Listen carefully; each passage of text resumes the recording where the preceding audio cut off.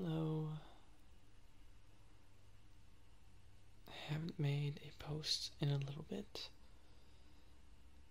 I've been working on some other things, and one of them happens to be an ASMR related project that you will see very soon, but there are also other things. So, as a simple video, I would like to share with you some poetry that is original to me, poetry that I have written. Uh, most of this is pretty old. And to quantify it more, maybe a few years old. Yeah, actually, what is it, 2017 now? So most of this is within six years. I don't think I have anything in this folder that's older than from 2011. But I started writing poetry in around August of 2011, and we're not there yet, so. Okay, um.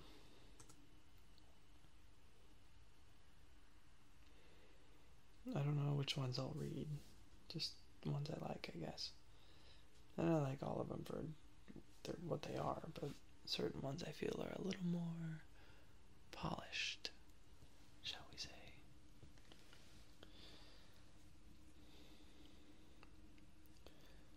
This was an interesting one. This is called 1000 Years. A match was made in heaven, and in heaven lit a flame. A love between two partners who you'd swear were both the same. Their love was so iconic, recognizable on sight. Embraces shared between their eyes as hearts had taken flight. The story took a sudden twist when lips of theirs did meet. Time began to twitch around, jealous of romantic feet. A thousand years then passed them by without concern of weight. The world had changed entirely, their lives of past now late. No older were their bodies, but all they knew was gone. They found themselves together, but a brand new world was drawn without a soul to greet them, and unsure of what to do, a tender kiss was shared once more to see if it was true. Another thousand years flew by concerning both the two. Whatever should they do from here, when time was all they knew? The man surveyed their setting, studied close what was around, then, turning in, discovered no solution to be found. He took his partner by the hand, concern detailed her face. Smiling, he sealed their fate, removed concern with grace. Their embrace was eternal, their passion's timeless flame. Two lovers caught in love lock, seeking out the final frame.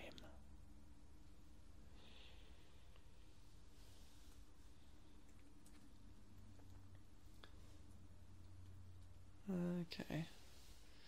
Moving on. What else we got? Hmm, that's interesting.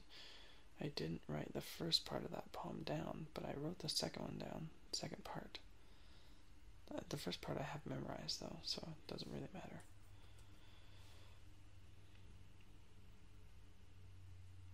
I don't know why I told you that.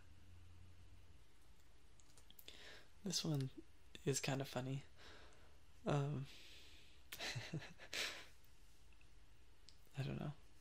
I could explain it, but it'll ruin the kind of the theme. I'm not going to give the title on this one because it's it's kind of titled, but I don't like it, so I don't care. I mean, I've always had trouble with rhyming ever since I was younger, I guess. Whenever poems would come up in school, I would do terrible, really bad. It's not even timing that's difficult. I hear how it needs to time out. You'd think that these things would be simple, but apparently they aren't for me. So, one day while walking, I stumble. I trip and fall into the ground. I don't quite know how it had happened, but it hurt, and I was distracted by that. But the colors around me seemed brighter, vivid, and beaming with life. My surroundings were no longer normal, so I must have hit my head pretty hard. Before me approached a small creature, a bit hairy but trimmed with good care. He raised an eyebrow to me on the ground. I hoped he wasn't attracted to me. Good day, sir, and how may I help you? We don't get much visitors here. It could be the air or the clothes that we wear, but all of them sure disappear. Uh, yeah, hi. I'm not sure where here is. I'm definitely no longer home. This world seems so strange to a human. How do I get back? Human, you say? How delightful! You folk make the most scrumptious pies. A rare breed you are here among us. Remaining here might be unwise. I've no interest in staying wherever I am. I'm late for a meeting back home. Perhaps you could guide me if you'd be so kind. I'd really appreciate it, man. Yes, I can guide you. Don't worry, my friend. We'll go to a universe vent. But do keep in mind, for the vent here to send, you'll have to correct your accent. Accent? What accent are you speaking of? My English is fine by all means. I've no problems with speech and can hear just as well, so really I should be fine, right? No, you must stop. You need practice right now. This accent is not of the word. What you need to change is your rhyming exchange. It's the rhyming to which I referred. You want me to rhyme everything that I say? That's ridiculous, crazy at best. I'm so bad at rhyming, it's destined to fail because I don't have enough zest. Well, there is a start. Don't give up just yet. In time you'll catch on, I'm quite sure. Just maintain the rhymes for just enough time. It's easy if you can endure. I'm not used to rhyming past three letter words, so excuse all my childish lingo. Oh, shoot, I forgot to consider my rhyme. I'm as good as an orange flamingo?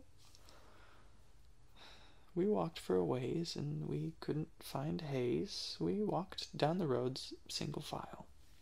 My friend didn't like all my terrible rhymes. For him, a few yards was a mile. We're now nearly there. No more time to prepare. Are you ready to give it a go? Just project your voice with the rhyme of your choice and hope that your true wish did show. Hello there, dear portal I see up above. I'm sick of this land that I roam. Please take me from here in this land. I'm a deer. I really just want to go home. I floated then up to the sky with a light surrounding me, filling with glow. I wasn't sure now what was happening to me, but I was creeped out, that I know. Goodbye, friend, and good luck in your world. It's good you are leaving, no doubt. Come back when you want to bake me a treat, but for now take your rhymes and get out. That was the last I saw of the man. I woke on the sidewalk up top. I wish I was able to speak normal again, but the rhyming I can't freaking stop.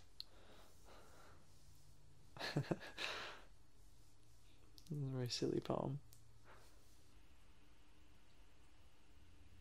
Um, what's this one? No, that's too strange for you guys.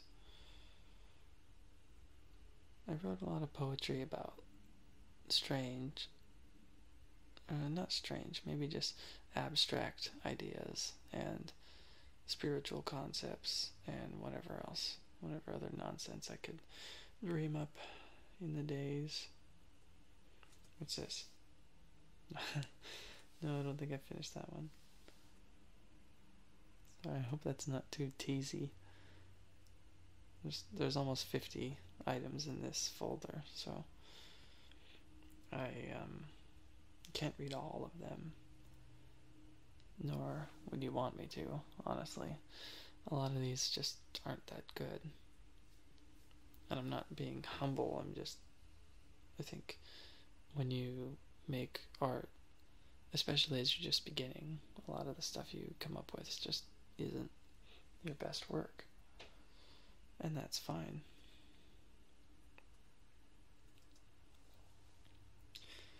I want to read this one because this is an important one to me. I don't think other people like it as much as I do, but it's meaningful to me, so that's why I want to share it.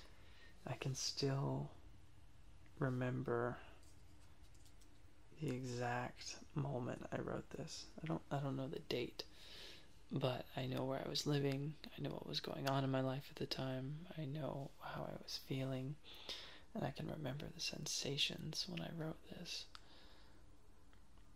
Um, I was a little hungover, to be completely honest with you, um, and not from alcohol. But that's all I'm going to say. This was in 2012, so going on six years. But I had this. I didn't feel that bad, but I just felt kind of groggy and yucky and blah. Just how anyone might from some sort of hangover. But then, in the midst of this, I had this very striking, poignant clarity that dawned in my head. And that's what this poem is about. And I thought it was such an interesting moment. I'm going to share it now. I titled it Floating. My thoughts are very disorganized disheveled, scattered, strewn across the ever so swiftly changing climate of the wasteland of my head. Plip, plop, they fall like raindrops, materializing from nothing and only entertaining my existence through their short descent. But some are much larger, oceans falling just as fast as rain, but no harsher, and I soon find myself swimming in the torrents of conversations mostly me. It's easy to be swept up in the tides of emotion, but it's much harder to grab the fleeting shore, the land that is always there but very elusive, which we hide from ourselves. That is, until we wash ashore, a bedraggled creature, unkempt and insatiable, searching out happiness in a land we will never find it the isle of existence is as much a hell as it is a paradise. To every man the freedom to make what he will. But this time, this time is different. It's much quieter now, as I quiet the stillness of my discontent. I feel clear, light-headed not in the sense that most people will read that word. Not an illness or sign of anything negative in nature, but rather exactly what it says. My head is filled with light. This light permeates, illuminates all of my head with no focal point, bringing brilliance with it, making a cynosure of myself. I've never been this beautiful, but at the same time knowing that I've always been this beautiful and just never took the time to look. There's places of me old and worn, and others entirely unexplored, with an alluring aura beckoning to me, saying, See with your own two eyes the very things you have known for an eternity. Building, ever constructing, are the questions forming in me but there's no sense of urgency as usual, no feelings of need for the answers. It's this freedom that unlocks in me the desire to explore, to begin, knowing that I will end up right where I need to be with all of these questions answered. I already know them.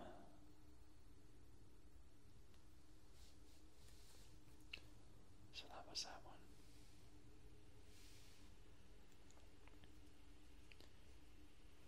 I have mixed feelings about free verse poetry.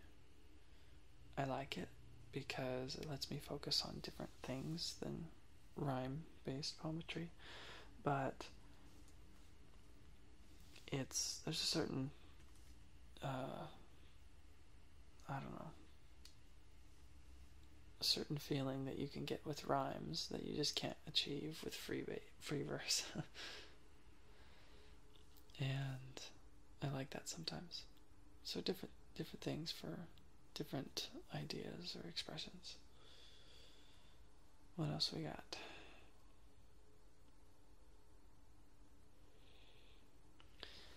Here's another simple one.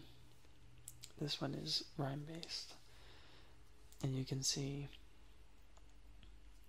sort of just the. I keep wanting to say the word juvenility. Is that a word? I'm not sure. This one is called In My Hands. I said that with probably bad inflection. How about In My Hands? I live the life that's in my hands, and inhale as my world expands. With every count of passing breath, my life remains, awaiting death. To use the time, I spy and seek adventures of sublime unique.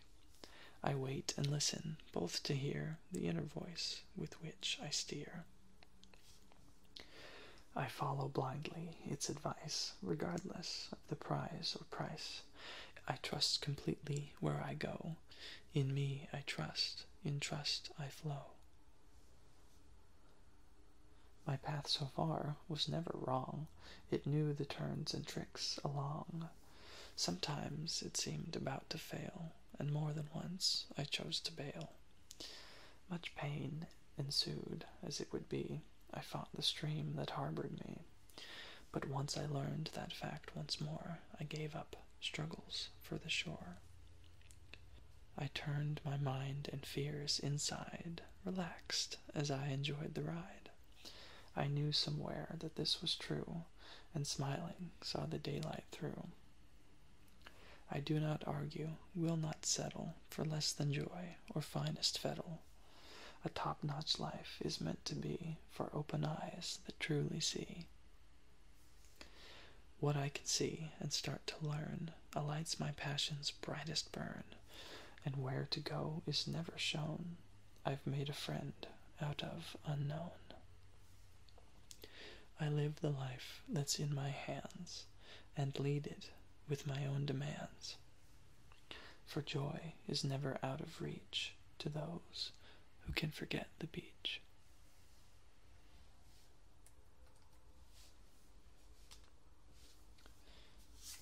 Alrighty, doing good. What's this one? Hmm. Pass on that one for now. I wrote this one. Actually, uh, never mind. I was gonna say, is that the phone?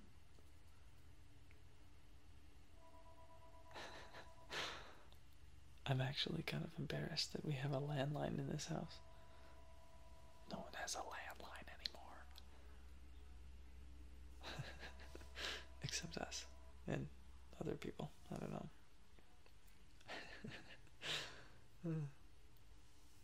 okay. I was going to say that I wrote this for a contest at work, but I don't think that's true. I submitted it for a contest at work, and I didn't win. It's a poetry contest. But I I don't know. I didn't care that much. I I liked the the girl who won the contest. Or wait. Did she win? I don't know. through reading the entries, I made a friend because I liked her poem and I emailed her and I, I don't know, just started chatting with her. I digress. This one is called Mirrored. And in the mirror, I see a man whose face is kind enough to be a smiling one reflecting back, although this person isn't me. It matters not from whence he comes, from either side appears the same, and circling I study fast this stranger in the glossy frame. His eyes beget familiar glow, a signpost that would mark a trail to secrets held behind that mask for passers-by to hope unveil. And though I'm never able to discern the man that meets my gaze, our meetings always end the same. We nod and go our separate ways.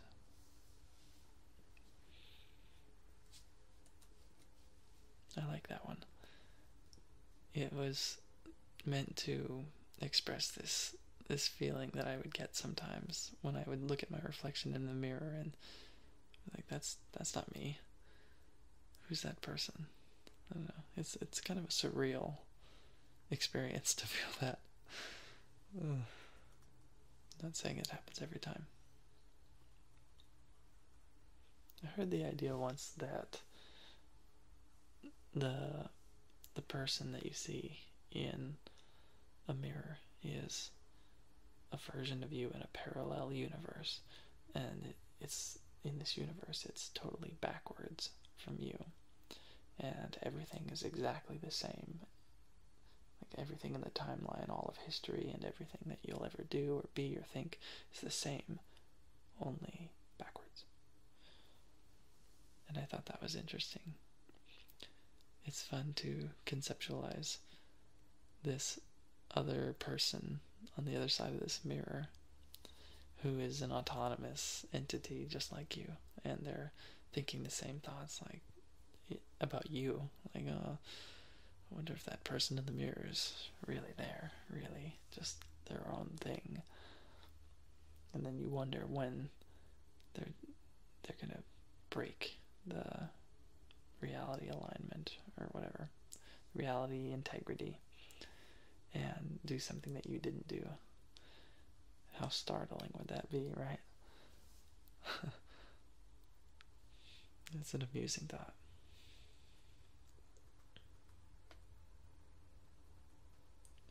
A lot of these poems, too, are me kind of writing about things that I'm thinking about. Um, or working through in my own psychology. If you, it sounds a little too uh, too serious when I say it like that, but just if I'm exploring ideas or exploring parts of myself. So a lot of them won't be relevant or interesting to you guys anyway. Hmm. What is this one? Oh.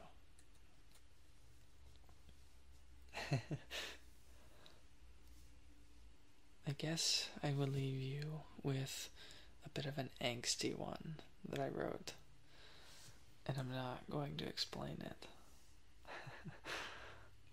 um, but I will read it. This one is called Silent.